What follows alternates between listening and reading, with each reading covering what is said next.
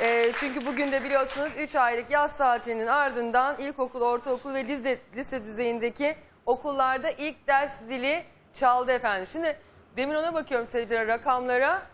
Ee, 17 milyon 749 bin 876 öğrenci ve 1 Maşallah. milyon 75 bin 196 öğretmen ile efendim 2018 eğitim öğretim yılına merhaba diyoruz. 2018-2019 yani ülkenin değil mi dörtte biri eee, bir de böyle anneanneleri babaanneleri eğer işin içine katarsak Evet. ülkenin yarısı için bir bugün eee seferberlik Evet. bir seferberlik var. Çocukları okula gönderme telaşesi.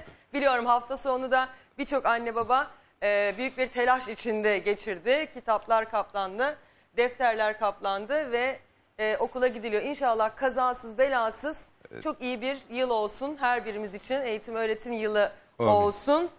Bu arada okuma yazma seferberliği de devam ediyor. Her zaman söylüyorum. Yaş hiç önemli değil. Çünkü insan aslında bedenen yaşlanıyoruz ama ruhumuz yaşlanmıyor. Ne kadar hanımefendi ne kadar güzel bir şey söyledi. Keşke okula gitseydim bir doktor olsaydım da milletime faydam olsaydı dedi. Vay be lafa bak yani aslında bir e, ziyanlık.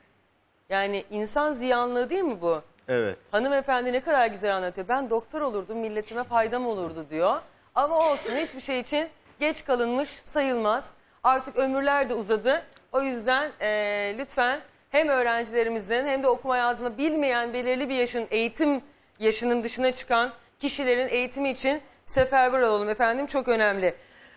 Ancak işte diyorum ya size 2 milyona yakın öğrenci okula başlarken bir öğrenci var ki o da bugün 3. sınıfa başlayacaktı ama maalesef dün kayboldu.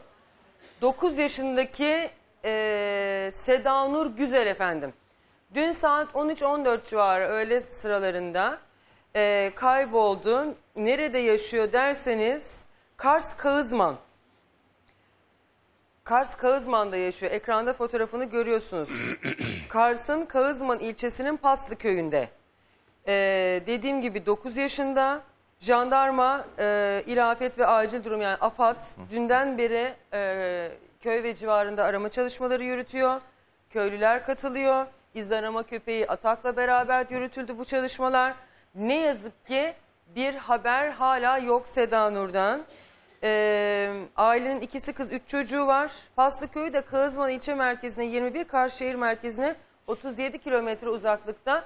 Anladığım kadarıyla kırsal bir alan Ee, ve çocuk dünden beri orada yok. Çocuk orada yaşıyor yani dışarıdan da gelmemiş. Hani çıktı yolunu kaybetti gibi durum da olamaz. Çevreyi de bilen bir çocuk. Ee, fakat e, hala arama çalışmaları sürüyor. Muhabirimiz az sonra... e, yanlarında olacak ailenin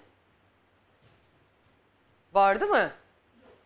Tamam. eee, evet.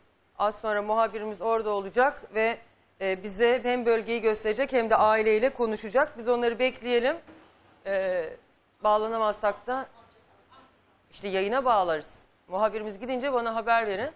Ee, ben görenlerden bilenlerden de haber bekliyorum. İşte bir tane çocuğumuz okula başlayamadı kaybolduğu için. 9 yaşında.